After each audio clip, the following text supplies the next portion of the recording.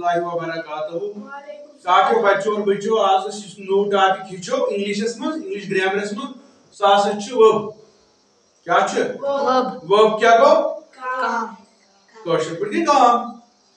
मगर अगर डेफिनेशन वुचो इंग्लिशस में इंग्लिश में चाहिए खुद खास a definition such action showing words are called verb तमाम की वर्ड्स तमाम की लफ्ज यम हायन एक्शन यम हायन अस मिसाल के तौर पर बह दिम मिसाल बह दप राइट लिखना यह वर्ड छावन काम लिखनिश काम कलियन, साफ़ रखना, साफ़ करना, ये वर्ड छावन अस काम अस कर सफ़ाई लिफ्ट उठाना बह करी चेयर बह करी लिफ्ट।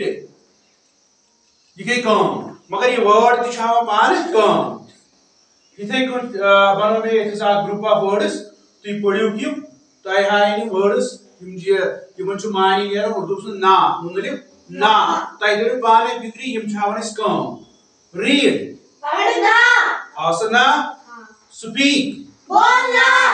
लिसन सुनना. आओ बचना हाँ. प्ले खेलना राइट लिखना. मेमोराइज याद करना. क्लियन साफ़ करना वॉश धोना पुट रखना बिथि पुट वुच पुट को रखना कह चीज़ थावन। मे छु मार्कर अथ से बह थवन कुर्सी पे।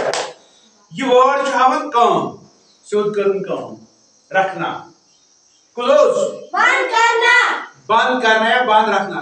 तमाम ती वर्ड्स यम हावन छ एक्शन यम हावन छ काम तिमन छ इंग्लिश ग्रामरस में वना वर्ब वर्ब वर्ब तुम हेकियो सास वर्ड तिम लिखित दह सास वर्ड तिम लिखित या पंच सास तिम वर्ड लिखित यम हायन अस एक्शन तु क्लास थर्ड फोर्थ तो फ़िलहाल वर्ड सास वर्ड्स पाँच सास करें तिम याद यम हायन एक्शन तिम गए वर्ब तिम वर्ड्स छु वनान वर्ब तो अजुक टॉपिक वोत तम वा खुदावान अल्हम्दुलिल्लाहि रब्बिल आलमीन।